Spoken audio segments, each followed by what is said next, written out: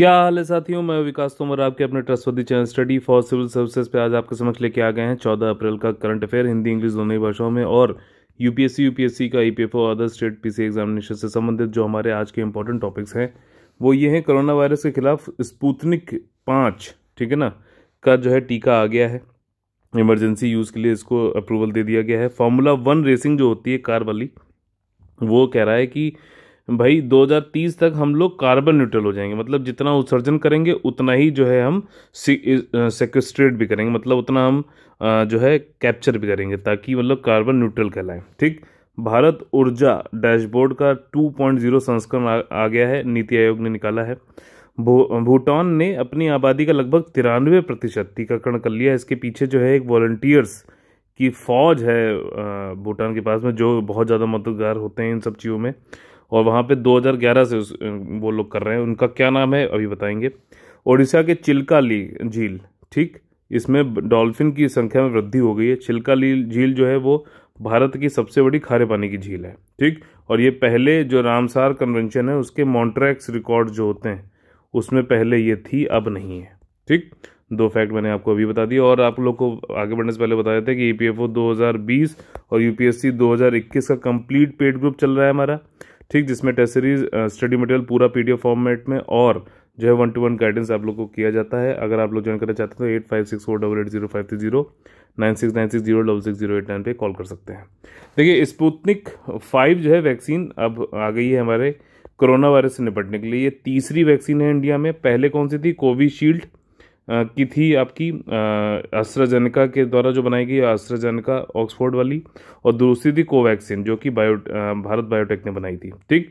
ये रशिया के द्वारा बनाई गई स्पुतनिक फाइव और ये एस्ट्राजेनिका की तरह ही है। ठीक? इसको इमरजेंसी यूज़ के लिए क्लियर कर दिया गया। किसने क्लियर किया ये ध्यान रखना? Drugs controller general of India ठीक? किसके अंतर्गत आता है मिनिस्ट्री ऑफ़ हेल्थ ठीक है? अच्छा मिनिस्ट्री ऑफ़ हेल्थ के अंतर्गत आता है या फिर मिनिस्ट्री ऑफ़ केमिकल्स के अंतर्गत आता है, बताइए। ठीक क्वेश्चन है आप लोगों से। और ये देखिए, अब क्या है कि ये थर्ड कोविड वैक्सीन है एस्ट्राजेनिका की तरह है। डिज़ाइन की, में अगर देखें तो। और स्पुतनिक फाइव जो है, इसका विदाउट जो एमरजेंसी अप्रूवल दिया गया है विदाउट प्रॉपर कंट्रोल ट्रायल के बिना, क्योंकि अभी ज़रूरत है। बहुत तेज़ी से, एक लाख सत्तर हज़ार जो है करीबन रोज केसेस भारत में निकल रहे हैं, जो कि बहुत ज़्यादा है। लेंसेट में एक आई थी, एक रिपोर्ट आई थी, उसमें 91.6 एफिकेसी इसकी बताई गई, जो कि बहुत ही ज़्यादा है। और इंडिया में जो है, ये वैक्सीन वॉज़ अप्रूव्ड इससे इंडिया में अप्रूव होने से पहले उनसठ कंट्रियों में भी इमरजेंसी यूज़ के लिए इसको अप्रूव कर दिया गया है। कोई भी डेफिनेटिव स्टडीज़ इस्टेब्लिश नहीं हुई हैं। अभी तक, समझना, यहाँ पर ध्यान से सुनने वाली बात है, जो भी कोविड नाइन्टीन के नए वेरिएंट्स आ रहे हैं ना, जैसे कि साउथ अफ्रीका वाला वेरिएंट था यूके वाला वेरिएंट है, उस पर कितना प्रभावशाली है ये वाली वैक्सीन्स इनकी कोई भी डेफिनेट स्टडी नहीं है। ध्यान रखना वैक्सीन को मतलब हम यूज़ कर सकते हैं स्टोर कर सकते हैं आसानी से वाटर के फॉर्मेट में माइनस एटीन तक, और अगर पाउडर के फॉर्मेट में दो से लेके आठ डिग्री सेल्सियस तक, ठीक? ये थर्ड वैक्सीन है, Covishield serum institute of India और कोवैक्सीन भारत बायोटेक को पहले मिल चुका है और स्पुतनिक फाइव जो है इसको किसने बनाया है? Gamaleya National Research Institute Epidemiology और माइक्रोबायोलॉजी के द्वारा मॉस्को में जो है इन्होंने। ये दो तरीके के जो है डिफरेंट वायरस जो हैं, उनको यूज़ करते हैं और कॉमन कोल्ड में जो आते हैं, जिसका नाम है एडेनो वायरस इन ह्यूमन। ठीक? कॉमन कोल्ड वाले जो एडेनो वायरस है, इनको बहुत ही ज़्यादा वीक करके भारत वीक करके ह्यूमंस के अंदर जो है डाला था, ताकि वो लोग वायरस को जो है रेप्लिकेट ना कर पाए। ठीक? ये एडेनो वायरस जो है काफ़ी वीकेंड फॉर्म में है, ताकि दे कैन नॉट रेप्लिकेट मतलब रेप्लिकेट नहीं, अपने आप को मल्टीप्लाई नहीं कर पाता है ह्यूमंस के अंतर्गत, और इसलिए जो है डिज़ीज़ नहीं बना पाता है। तो ये दो डिफरेंट वायरस जो है याला वैक्सीन जो है यूज़ करती है। और ये they are also modified so that the vaccine delivers a code for making corona spike protein अच्छा देखो, अब एडिनो वायरस ले रहे हैं ये, जो कॉमन कोल्ड वाला है।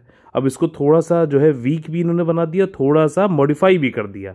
ठीक, ताकि कोरोना वायरस की तरह आपने देखा होगा ना जो इस पे जो कांटे से निकले रहते हैं, वो स्पाइक प्रोटीन ये प्रोड्यूस कर सके। ठीक, और एक बार जब ये इंसान के अंदर डाला था इंसान की इम्यूनिटी काफ़ी काफ़ी, क्योंकि काफ़ी वीकेंड है तो इंसान की इम्यूनिटी इसको जो है मार देती है। और फिर उसके बाद मेमोरी में अपने स्टोर कर लेती है। अच्छा इस टाइप का अगर आगे आ जाए नेचुरली तो उसको और तेज़ी से निस्तानाबूद कर देंगे, ये वाली बात है। ठीक द एम यही होता है कि जब रियल वायरस आए ट्राई करे इन्फेक्ट करने का बॉडी को तो इम्यून रिस्पॉन्स हमारा जो है एंटीबॉडीज तेज़ी से बनाए, उसको ख़त्म कर दे और तेज़ी से। स्पूतनिक जो है डिफरेंट वैक्टर्स का यूज़ करता है। वैक्टर क्या होता है कि एक तरीके से कैरियर होता है, जो पहुँचाता है। ठीक for each of the two shots in a course of vaccination जैसे दो शॉट अभी आपको पता है, एक शॉट लगता है, फिर बी शॉट लगता है, ठीक? तो इसमें डिफरेंट डिफरेंट वैक्टर्स हैं, जिससे ये कहा जा रहा है कि इम्यूनिटी जो है ज़्यादा अच्छी, ज़्यादा ड्यूरेशन तक के लिए प्रोवाइड हो जाती है। अगर हम इसको कंपेयर करें सेम शॉट वाले जो हैं, उनसे अच्छे से प्रोवाइड करी जाती है। ये कौन बता रहा है ये चीज़? रशियन डायरेक्ट इन्वेस्टमेंट फंड आर और ये दो शॉट जो हैं, इक्कीस दिन के अंतराल में लगाए जाएँगे। और ये कहा जा रहा है कि जो इसका प्राइस है वो less than ten dollars per shot होगा। ठीक तो सात सौ रुपये प्रति शॉट से कम अभी तो काफ़ी सस्ती मिल रही है, देखते हैं क्या होगा। अपना डॉक्टर रेड्डीज जो हैं लेबोरेटरी हैदराबाद बेस्ड हैं, उनको गवर्नमेंट का अप्रूवल अप्रूवल मिल गया है कि इस वैक्सीन को यूज़ करें इंडिया में। RDIF जिसके बारे में भी ऊपर बताया, उन्होंने पार्टनर किया था डॉक्टर रेड्डी के साथ में, सितंबर 2000 पिछले साल ही कर लिया था कि क्लिनिकल ट्रायल करेंगे, लेकिन क्लिनिकल ट्रायल कुछ हो नहीं पाए इमरजेंसी यूज़ के लिए अप्रूवल मिल गया। किसके द्वारा? Drug general controller general in India के द्वारा।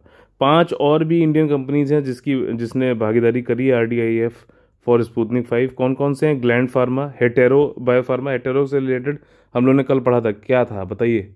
रेमडेसिविर वाली जो एंटीवायरल ड्रग होती है, उससे संबंधित सबसे बड़ा जो मैन्युफैक्चर वो हेटेरो बायोफार्मा ही है।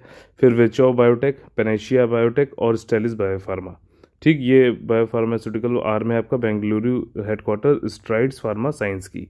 ठीक स्टेलिस बायोफार्मा अच्छा इसकी एफिकेसी जो है, प्रभावकारिता जो है, वो जब लॉन्च हुआ ये अगस्त लास्ट ईयर ठीक तो रशिया के पुतिन जी ने किया था। और उन्होंने कहा था, मेरी बेटी ने भी लगवाया ये सारी फिर कम्युनिटी काफ़ी जो है साइंटिफिक कम्युनिटी ने इनकी वो दज्जे भी उड़ाई थी, का क्रिटिज्म भी किया था। कह यार, कहते कि हमें हमें सबसे फ़र्स्ट नहीं चाहिए। तब एक बात कही गई थी न्यूज़पेपर वालों ने पढ़ा होगा, हमें फ़र्स्ट नहीं होना है, हमें बेस्ट होना है, ये कहा गया था। ठीक, हालाँकि आप देखिए, इसका यूज़ हो रहा और फिर तीन फ़ेज़ के ट्रायल कंडक्ट हुए रशिया में, और बाद में लेंसेट में एक पब्लिश भी हुई थी रिज़ल्ट उसमें बहुत ज़्यादा अच्छी प्रभावकार जो है 91.6 परसेंट बताया गया था कि प्रभावकारिता है इसकी, जो कि बहुत ज़्यादा है, करीबन 20 परसेंट ज़्यादा है, जो कोविशील्ड है अभी उससे। समझ रहे हो आप? ये चीज़ है वो इकहत्तर बहत्तर के आसपास ही है। अगला जो हमारा टॉपिक है वो है कि फार्मूला वन जो है 2030 तक कार्बन तथस्थ बनने का लक्ष्य करेगा यानी कि कार्बन न्यूट्रल जितना कार्बन उत्सर्जन करो उतना ही कार्बन जो है कैप्चर कर लो ये वाली बात है। फेडरेशन इंटरने, इंटरनेशनल ऑटोमोबाइल जो है इसने ये इंटेंट अपना बताया है कि 2030 तक हम कार्बन न्यूट्रल हो जाएँगे और हम सस्टेनेबल रेसेस करने लगेंगे 2025 तक। सस्टेनेबल रेसेस क्या है? अच्छे से अच्छा ईंधन काफ़ी दक्ष ईंधन का उपयोग करें। ठीक? और जो है जो इंजन है काफ़ी एफिशिएंट हो जाएँगे तो हम वैसे ही कार्बन जो है, कम उत्सर्जित करेंगे और जो है कार्बन न्यूट्रल होने में हमें आसानी होगी। अच्छा यहाँ पे एक चीज़ समझने वाली ये है कि फार्मूला वन करंट जो कार्बन फुटप्रिंट है मतलब कितना कार्बन ये उत्सर्जित करते हैं, वो दो लाख छप्पन हज़ार टन है, जिसको अगर आप ऐसे समझो कि तीस हज़ार जो यूनाइटेड किंगडम में हाउस हैं, एक साल में उनको जो है ऊर्जा देने के लिए काफ़ी है। और लेकिन सबसे बड़ी चीज़ है, जो कार्स होती हैं, उनमें नहीं होता है ज़्यादा। उनसे ज़्यादा एमिशन नहीं होता। है होता क्या है? किसमें सबसे ज़्यादा? जो कार्स को लाना टीम्स को लाना लॉजिस्टिक्स इक्विपमेंट एक एक दूसरे पूरे विश्व में इधर उधर ले आना, उनका सबसे ज़्यादा जो है, उनकी वजह से जो है, उत्सर्जन सबसे ज़्यादा होता है। कार्स की वजह से तो खाली one zero point seven percent होता है, जो कि बहुत ही कम है यार। ठीक? और स्थायी विकास की और फार्मूला वन की राह। देखिए फार्मूला वन की जो रोड है टुवर्ड सस्टेनेबल डेवलपमेंट इसमें यही है मेन टेक्नोलॉजी डेवलपमेंट करते जा रहे हैं और जो मतलब इंजन जो है वो लगातार इम्प्रूव करते जा रहे हैं। इंटरनल कम्बशन इंजन जो है ज़्यादा ज़्यादा पावर जनरेट करें, कम से कम ईंधन का उपयोग करें, कम से कम उत्सर्जन कम करें। ये जो है मतलब कम से कम उत्सर्जन करें, ये सबसे इनकी प्राथमिकता है सस्टेनेबल डेवलपमेंट की ओर बढ़ने के लिए। ठीक, इम्प्रूव करना है इनको कार को, मैन्युफैक्चर को, ये है कि फ्यूल कम खपाएँ, एफिशिएंटली और जो है वेट रिड्यूस करें, ऑप्टिमाइज करें पावर को। पावर को मतलब कम ज़्यादा ज़्यादा पावर निकालें कम से कम और ईंधन का यूज़ करते हुए। 2020 में फार्मूला ई e, देखिए फार्मूला वन अलग होता है इसे कई सारे संस्करण होते हैं उसमें फार्मूला ई e ने जो है सबसे पहला ये वर्ड फ़र्स्ट स्पोर्ट बन गया जिसने नेट ज़ीरो कार्बन फुटप्रिंट की बात करी थी। और जो प्रोजेक्ट है ऑफसेट इन्होंने अपना एमिशन जो है भरपाई कर दिया six season of electric racing का। ठीक? इलेक्ट्रिक रेसिंग हो रही थी तो उसमें भाई आउटसोर्सन कमी हो रहा है। ठीक ट्वेंटी थर्टी जो कार्बन न्यूट्रल प्लान है इनका, उसमें यही है कि रिड्यूस करेंगे environmental impact energy efficient engine बना के, जो मैंने पहले आपको बताया एफ़ वन जो है ये कमिटेड है to a number of initiative design to improve engine engine की एफिशिएंसी पे सबसे ज़्यादा ज़ोर है इनका। इतना कर देना है कि रिड्यूस करें फ्यूल का कंजम्पशन जो है वो कम हो जाए 50 परसेंट अक्रॉस द कंपटीशन 2020 में FIA के द्वारा अनाउंस किया गया था कि 100 परसेंट सस्टेनेबल फ्यूल जो है डेवलप कर लिया है इन्होंने, इंजन मैन्युफैक्चरर ने बोला ऐसा। और इसकी टेस्टिंग चल रही 2026 तक हम इसको पूर्णतः यूज़ करेंगे, स्टार्ट कर देंगे यूज़ करना हंड्रेड परसेंट सस्टेनेबल फ्यूल जो है रिप्रेजेंट करता है कि third generation mode advanced. Biofuel, जैसे बायोफ्यूल आप लोग होगा ना, एथनॉल, बायोडीजल, ठीक है ना, जो कि बायोमास से बनते हैं, द्रव्यमान से जो बनते हैं, ये बायो प्रोडक्ट होते हैं, एग्रीकल्चर वेस्ट से जो बनते हैं, उससे बन रहे हैं। उन्हीं को जो बोला जा रहा है कि सस्टेनेबल फ्यूल है हंड्रेड परसेंट, ठीक है ना। क्यों? क्योंकि इसका जो है कोई भी इम्पैक्ट ज़्यादा पड़ता नहीं है। और ये एक तरीके से देखा जाए तो बायो जो है जैव, जो चीज़ें, जो प्लांट्स आज हैं, हम उनसे बना ले रहे हैं। ठीक है ना? एलगी और इन सबसे बनाते हैं ना, शैवाल वेवाल से। बल्कि जो हाइड्रोकार्बन्स होते हैं, ये सब जो पेट्रोल और ये क्रूड ऑयल है, ये क्या है? जो मिलियन ईयर्स पहले मर चुके हैं, जो फॉजिल बन गए हैं, और वहाँ से हाइड्रोकार्बन निकालने वो होते हैं। लेकिन ये अभी के प्लांट जो है रिसेंटली उनसे बनाया जा रहा है। ये चीज़ मेन डिफरेंस है दोनों के बीच में। एफआईए ने कहा है कि अल्ट्रा एफिशिएंट ट्रेवल लॉजिस्टिक और ये सब हम यूज़ करेंगे। 2025 तक हम सस्टेनेबल हो जाएँगे। वेस्ट जो है रिसाइकिल रीयूज कंपोस्ट ये सब बनाएँगे, ठीक? बायोफ्यूल क्या होता है? इंडिया की बायोफ्यूल की जो है 2018 में आई है नई पॉलिसी इस पर पिछली बार 2020 में क्वेश्चन भी पूछा चुका है, मैंने बताया भी था, ये इंपॉर्टेंट टॉपिक्स में था।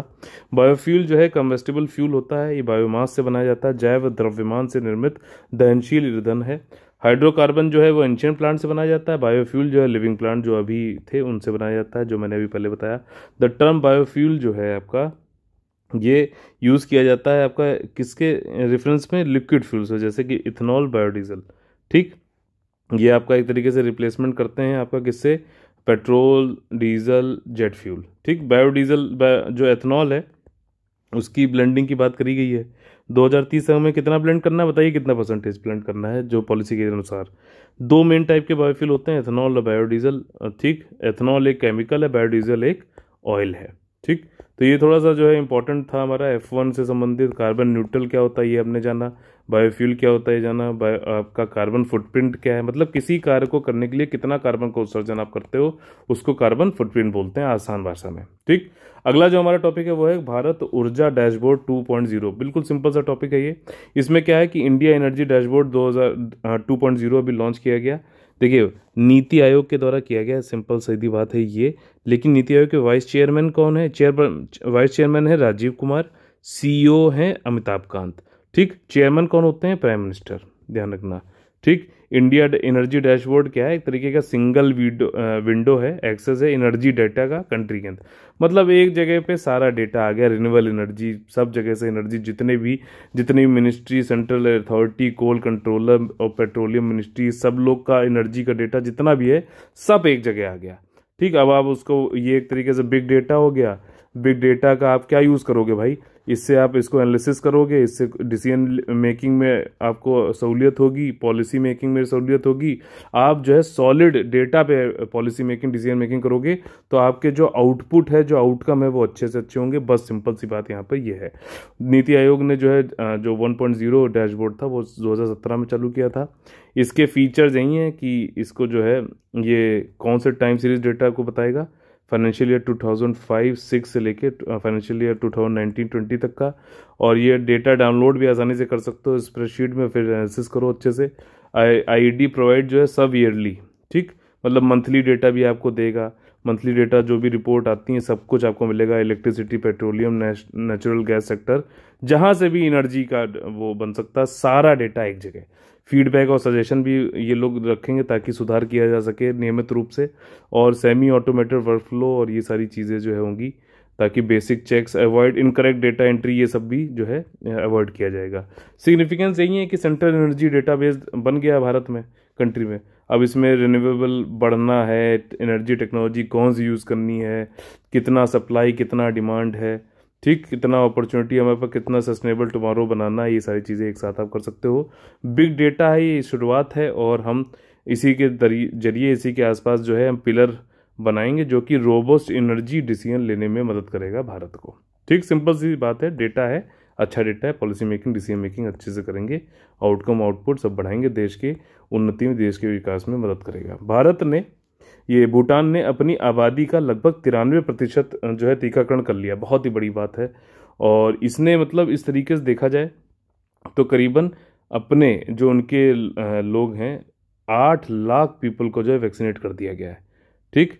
मार्च, अगर अगर देखा जाए तो मार्च सत्ताईस सत्ताईस मार्च को जो है इनका देखा जाए तो उन्होंने तिरानवे प्रतिशत तक लोगों को वैक्सीनेट कर दिया, जो कि इनके यहाँ के एडल्ट पॉपुलेशन है उनको। ठीक? आठ लाख अगर नंबर्स में देखें तो। जी, एक छोटा सा हिमालय का किंगडम है इंडिया और चाइना के बीच में जो है मतलब है ये, भूटान। और देखिए कितने बड़े बड़े काम करता है ये। ठीक? और देखिए, यहाँ पे अगर देखा जाए, अगर ग्राफ बनाया जाए तो भूटान की जो कोविड नाइन्टीन की वैक्सीनेशन ड्राइव है, ये बहुत ही तेज़ी से ऊपर बढ़ी है। अगर देखा जाए तो पहले दिन से ही जो है इसने इसराइल को क्रॉस कर दिया यूनाइटेड स्टेट्स को क्रॉस कर दिया बहरीन को क्रॉस कर दिया, और भी अलग अलग कंट्रीज़ को क्रॉस कर दिया, जो कि बहुत तेज़ी से जो है वैक्सीनेशन कर रहे थे। ठीक? रैपिड रोल आउट जो है इस वैक्सीनेशन का मतलब अगर देखा जाए तो ये सिर्फ़ सेचल से पीछे है। सेचल्स जो है आपका अरेबियन सागर, महासागर में अरेबियन सी में एक जो है आइलैंड है, देखना इसको। ठीक? जस्ट बिहाइंड द सेचल्स जिसने अपने जो है छियासठ परसेंट पॉपुलेशन जो है उनको करीबन एक लाख लोग को जो है कर लिया है वैक्सीनेट ठीक? भूटान की देखिए ये जगह है, भूटान ये रहा। ठीक? China, India. अभी इसके बारे में हम लोगों ने कल पढ़ा भी था। ठीक? रीज़न इसके पीछे कारण क्या है? एक तो छोटी पॉपुलेशन है और तेज़ी से जो है जिसने मदद करी कि जल्दी से इनको जो है वैक्सीनेट किया सके। लेकिन सबसे बड़ी चीज़ जो है, जो जिसने मदद करी यहाँ पे वो है डी सुप्स डी सुप्स, ये एक्चुअली डेडिकेटेड सिटीज़न वॉल्टियर हैं। जैसे हमारे यहाँ जो है जैसे राष्ट्रीय स्वयंसेवक ये भी वॉल्टियर्स ही तो हैं। ठीक तो वैसे ही जैसे ये जो है डेडिकेटेड सिटीजन वॉल्टियर्स जो है, डी सुप्स हैं, ये इन्होंने बहुत ज़्यादा मदद करी कि वैक्सीनेशन तेज़ी से हो सके। इन्होंने इस्टेब्लिश किए कोल्ड चेन स्टोरेज और ताकि जो है जल्दी से जल्दी वैक्सीनेशन ड्राइव हो। और भूटान को देखिए, जो वैक्सीन दी वो हमने ही दी। भारत ने दी। एस्ट्राजेनिका वैक्सीन के डेढ़ लाख डोजेस पहले वाले दिए और जनवरी में, लेकिन वो लोग रुके रहे मार्च के लेट तक, ताकि वो एक ऑस्पिशियस इनकी डेट थी बुद्धिस्ट एस्ट्रोलॉजी के अनुसार। ठीक, बुद्धिस्ट ज्योतिष के अनुसार, तब तक वो रुके रहे, तब इन्होंने चालू किया। और देखिए कितना लेट चालू करने के बाद भी कितनी तेज़ी से इन्होंने जो है वैक्सीनेशन ड्राइव कर लिया। डीसुप जो एक प्रोग्राम है वॉल्टियर्स का वहाँ का, ये 2011 में चालू हुआ था। और ये highest form of voluntary act है भूटान में। सबसे ज़्यादा मतलब स्वैच्छिक अधिनियम जो है मतलब सर्वोच्च रूप है ये। वॉल्टियर ये ऑरेंज यूनिफॉर्म पहने रहते हैं, आपने देखा होगा डिजास्टर के डिजास्टर के टाइम पे चैरिटेबल वर्क हो रहा होगा, कहीं पे भी तो ये ऑरेंज यूनिफॉर्म वाले ज़रूर आपको दिख जाएँगे। ये जो है, एक तरीके से स्वैच्छिक काम करने में वॉल्टियर्स हैं वहाँ के, ठीक? इस प्रोग्राम में करीबन चौवालीस सौ सत्तावन भूटानीज जो है, वो ट्रेन कर, किए जा चुके हैं। भारत और भूटान के रिलेशन बहुत ही अच्छे हैं। और इसमें अगर देखा जाए तो दोनों लोग बहुत ही क्लोज हैं और स्पेशल रिलेशनशिप करते हैं।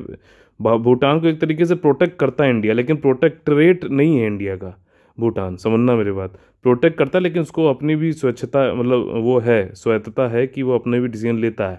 ठीक इंडिया जो है इन्फ्लुएंशियल है भूटान की फॉरेन पॉलिसी पे डिफेंस पे कॉमर्स पर। ठीक, और भूटान को सबसे ज़्यादा फॉरेन एड भी इंडिया से मिलती है। भूटान में क्या है कि इंडियन मिलिट्री ट्रेनिंग टीम है, इमतरात। ठीक 2000 स्ट्रॉन्ग है। ये भूटान के आर्मी को रॉयल भूटान आर्मी को ट्रेन भी करती रहती है और कॉपरेट भी करती है, का, और भी कामों में प्रशिक्षण विक्षण करती रहती है, ठीक। इंडिया जो है डोकलाम इशू में देखा जाए तो इंडिया भूटान के साथ मतलब कंधे से, कंधा मिला के खड़ा रहा चाइना के अगेंस्ट में। डोकलाम एक मुद्दा है चाइना और भूटान के बीच में, लेकिन इंडिया ने भूटान की मदद करी। ठीक, वहाँ पे रोड वोड चाइना बनाना चाह रही थी। डोकलाम को अपने अंदर लेना चाह रही थी, लेकिन नहीं लेने दिया इंडिया ने। ठीक? और जो है, इंडिया ने कौन सा, ये बहुत इंपॉर्टेंट है, कौन सा जो है ऑपरेशन लॉन्च किया था? ऑपरेशन जूनिपर लॉन्च किया था कि चाइना को टोकलाम इशू पे मतलब वहाँ स्टैंड ऑफ़ खड़ा करने में। 270 इंडियन ट्रूप भारत ने भेजे थे चाइना के ट्रूप को रोड बनाने से रोकने के लिए। ऑपरेशन का क्या नाम है? ऑपरेशन जूनिपर ठीक? जूनिपर पेड़ आपने देखा अभी होगा, बहुत सुंदर होता है। एक बार देखना गूगल करके। समझ में आ जाएगा। ओडिशा के चिल्का झील में डॉल्फिन की संख्या वृद्धि हुई है। तीन तरीके के डॉल्फिन होती हैं, अभी बताऊँगा यहाँ पर। ठीक? और एक चीज़ क्वेश्चन ये आप लोग से ये है कि भारत की एक्वेटिक एनिमल कौन सी है? वो गेंजेटिक डॉल्फिन है, ध्यान रखना। गेंजेटिक डॉल्फिन ठीक? ना कि जो यहाँ पे बात होने वाली इरादवे और ये वाले। ठीक तो डॉल्फिन जो है बढ़ गए हैं ओडिशा के चिल्का लेक में। तो वाइल्ड लाइफ विंग जो है ओडिशा की स्टेट फॉरेस्ट की इन्वायरमेंट डिपार्टमेंट की उसने फाइनल डेटा निकाला है। इन्होंने एक सेंसस किया था, जनगणना की थी जनवरी फरवरी में इस साल तो और उसके जो है, जो नंबर्स आए हैं काफ़ी अच्छे आए हैं। और उनकी फाइंडिंग्स ये है कि पॉपुलेशन जो है डॉल्फिन की, चिलिका में जो कि लार्जेस्ट ब्रैकिश, खारे पानी की सबसे बड़ी झील है भारत में, उसमें जो और ओडिशा कोस्ट पे पाई जाती है, वहाँ पर देखा गया है कि डबल हो गई।